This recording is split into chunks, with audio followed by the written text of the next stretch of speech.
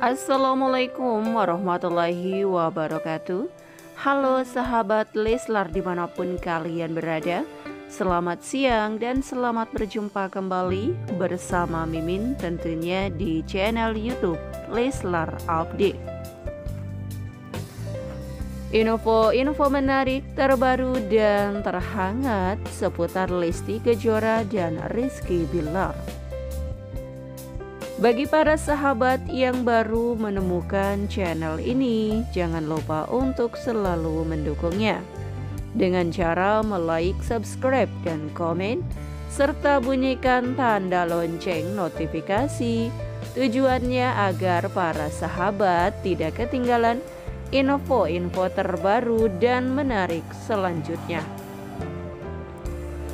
Mengawali perjumpaan kita di siang hari ini, tentunya Mimin ada kabar bahagia langsung dari Bang Lintar ya. Nih gue kasih vitamin dari Abang L, cuma bedanya kalau Abang L ini bukan naikin imun tapi naikin darah. Lucu banget ya. Tapi inilah warga Konoha selalu bahagia meskipun vitamin yang ditunggu belum muncul ya. Dan uh, dari tim uh, eh, LA aja udah seneng banget.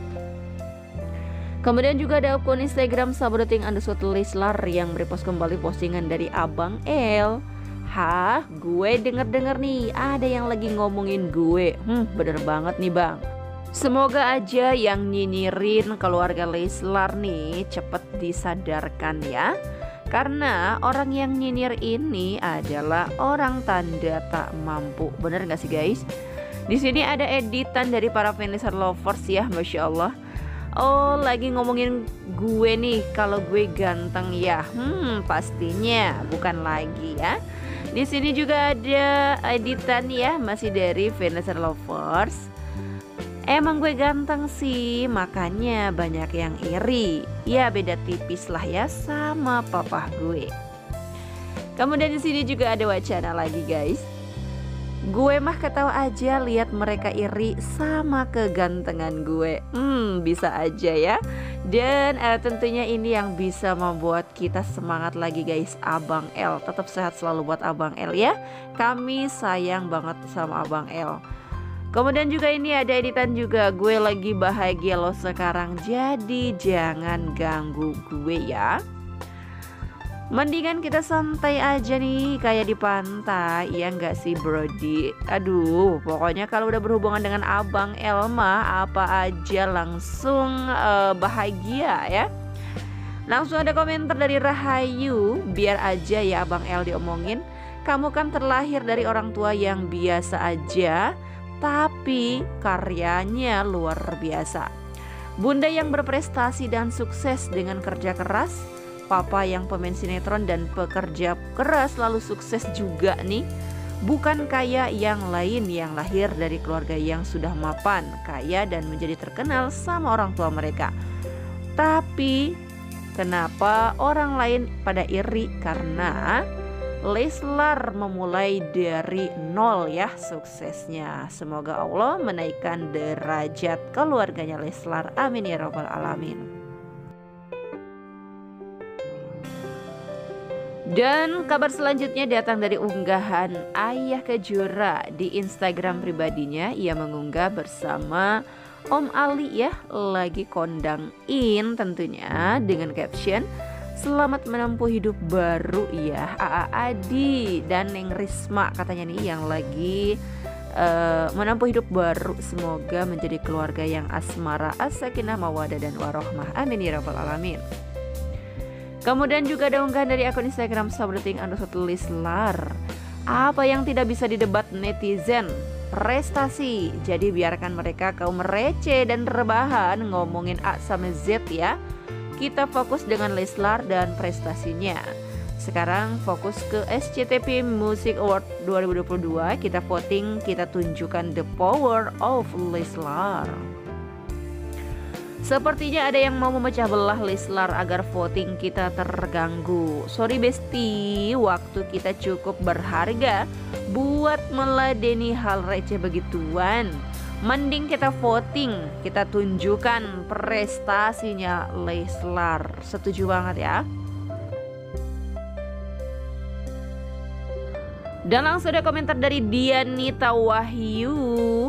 Mendingan fokus untuk voting biarkan netizen mau apa kayak terserah ya. Mereka yang menanggung dosanya. Justru kita harus bersyukur karena dosa kita dialihkan kepada mereka yang selalu membuli. Pokoknya untuk para Vanessa lovers tetap semangat ya untuk voting idola kita Lesti dan Rizky Bilar di SCTV Music Award 2022. Buat like yang di Instagram bisa download Multispace ya guys. Aplikasi buat ternak akun lebih banyak lagi. Yuk bisa kejar yang video klip di Instagram dan Jokes. Jangan lengah juga di SMS dan video ya. Dan ada komentar yang lain yang menanggapi. Ada Vira Hartati 245 Bener banget nih Min. Buang-buang tenaga pikiran Balas yang gak penting Yang ada mengundang dosa. Biarkan saja nih uh, Mau bilang apa. Pokoknya kita cukup disenyumin aja. Alhamdulillah nih kalau kita nggak tanggapin mereka ya. Uh, Jangan sampai terpancing Balas-balas komenan yang gak penting. Dan uh, kita harus buktikan dukungan kita kepada karya-karya Lislar Pokoknya uh, the best banget buat kita semua selalu mendukung dan kompak selalu ya. Buktikan kalau kita fan Leslar yang selalu barbar dalam hal positif. Dan di kabar selanjutnya kita uh, ada kabar dari PN ya di instastorynya. PN mengunggah sebuah caption kalau kita lihat ada buah yang busuk di atas pohon, jangan dipetik. Ntar juga jatuh sendiri. Begitu juga kalau ada orang yang hatinya busuk, biarin aja, nggak perlu dipikirin, apalagi dibalas. Nanti dia jatuh dengan sendirinya. Bener banget ya.